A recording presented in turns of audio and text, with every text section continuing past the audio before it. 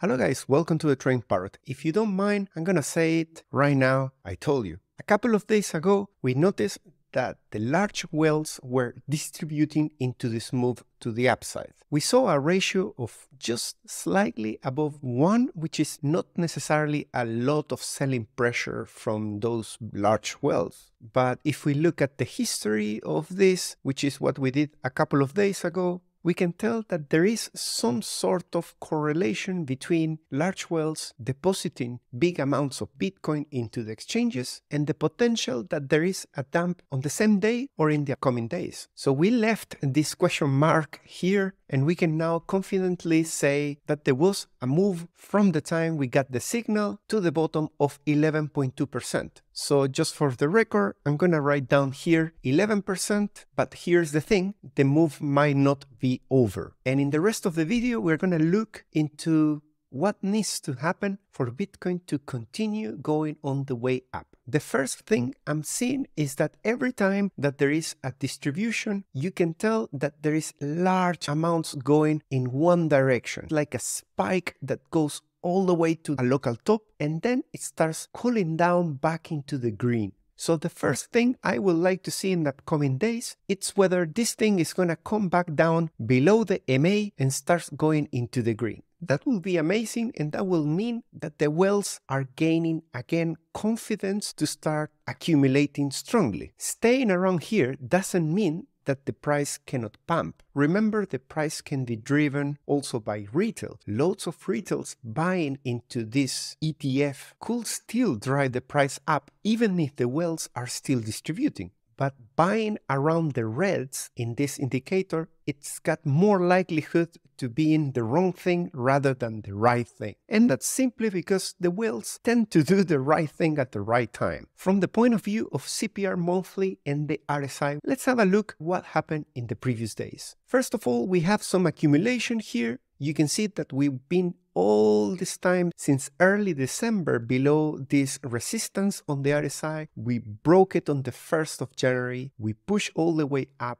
And currently we seem to be retesting, but actually we are not because we already broke all the support right here and we are back inside the previous range. And that's usually not a good thing. So we should expect to see some sort of dead cat bounce from where we are but consider that potentially an area to take profits. The only thing that can change dramatically everything that I'm gonna say in this video if the ETF actually gets approved. If you get an official confirmation, and please stay away from all the crap that you're reading on Twitter or in other channels where people are just constantly saying that the ETF got approved already or that it won't get approved. There's a lot of misinformation outside, so I rather sticking just to the charts and looking at this. And whenever someone says this is official information, I read it, but I don't really believe it on the first read. Another thing that we need to look into is something magnificent that's going on with the CPR monthly. Let's focus only on the CPR levels of the past months. You can see that in November and in December, we had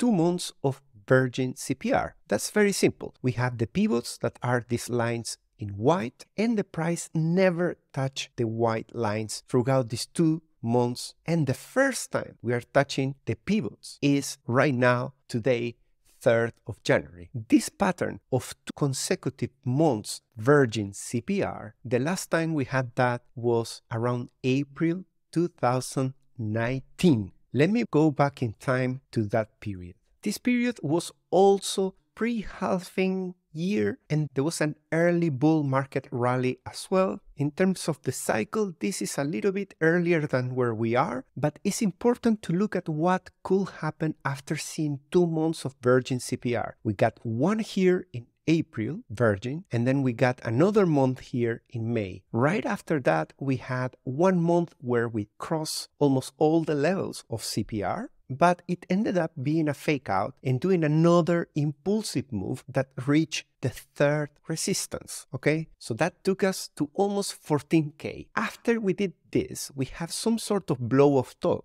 which from the month of June, we just went down until we found a final bottom in the middle of COVID crash. Let's go back to the future and let's imagine if that scenario happened today. I'm referring to the scenario of after two consecutive virgin CPR months, what if we had a last pump to the third level of resistance? That will take us directly into the 52.5K. That's only if we are going to have the same outcome that we had the last time that we had two months consecutive. Interestingly, at the same time, we also have some sort of fake out like this in terms of the RSI. So you can see we have a top here, we have the fake out coming up here, and then the price collapsing into the pivots on the third month and touching those pivots for the first time in three months. And from there, we have the push that takes us to this blow off top of 14K. So this is just dubious speculation. If we did that, we will need the RSI to still fake us out in this area to look bearish and to maintain this range. Another aspect to consider is that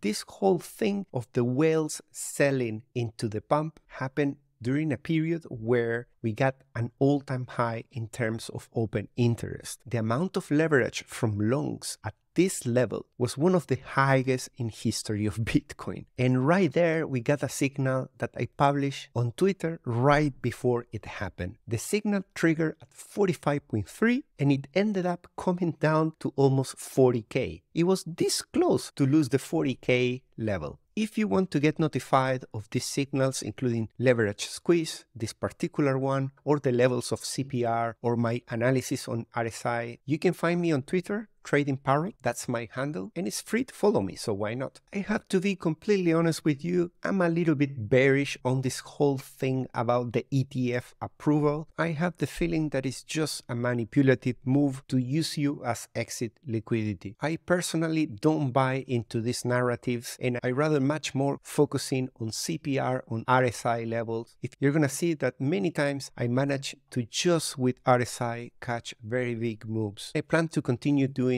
the same during the rest of the year. One good thing is that in this month we managed to touch the first level of resistance, so that is bullish. It's also bullish that we are holding the CPR levels. If during this crash we go to 38.3, that's going to spell a bad outcome to come for the coming couple of months. Usually the model says that if you touch the level of support, number one, in one month, it tends to become more bearish in the next months. But on the other side, having lost this level on the RSI doesn't look really great. We'll have to see. Let me know in the comments what you think is coming for Bitcoin and if you're basing all your trading just on the speculation of the ETF's approval or what's your preferred method to trade Bitcoin. Thank you so much for watching. I'll see you on the next one. Bye bye.